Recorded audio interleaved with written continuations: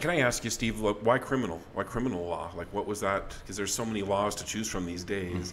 what attracted you to this this business?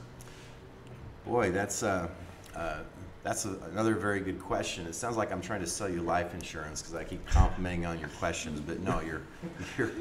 They, it, it, you're That's why they keep me around. You're setting me up to like to say something something important or interesting.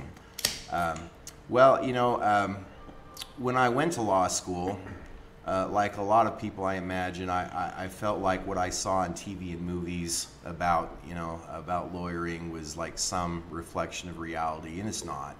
Um, it's all way over dramatized and um, you know, like watch if you watch Perry Mason, you know, Della Street, his secretary is a genius, and he has one case at a time, and and he always wins. Yeah. Um, it'd be great to be Perry Mason, but you know, the reality of the law business is it's just a tough business, and I found out after I got into it that if you're in private practice, that the majority of people who ever hire a lawyer are probably hiring a lawyer because they're getting divorced or they've had a, a, child out of wedlock and have you know parent time, similar cut parent time, child support type issues, uh, or else they're filing bankruptcy and um, uh, that that's probably at least two thirds of the people who are hiring a lawyer one time in their life. I think are, are doing it for that reason.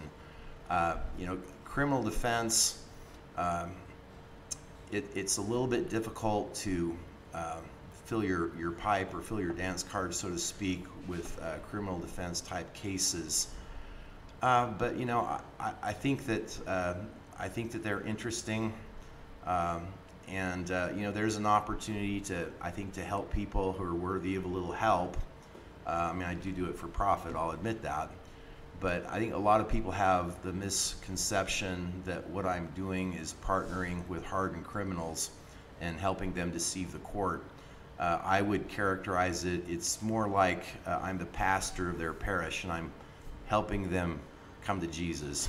that's, that's that's how I would characterize it. In other words, uh, in other words, you know, a lot of people, you know, they, they just have a really bad day where they are under a lot of pressure, and uh, Made some they, choices. They made some poor choices. They exercised some poor judgment, and now they got to fix it. And so I do that. But I, I suppose to answer your question, you know, why that over other things? I, I do many things, you know, as a solo practitioner or as a member of a very small firm. Um, but uh, you know, I, I just I, I just enjoy, I guess, the stories.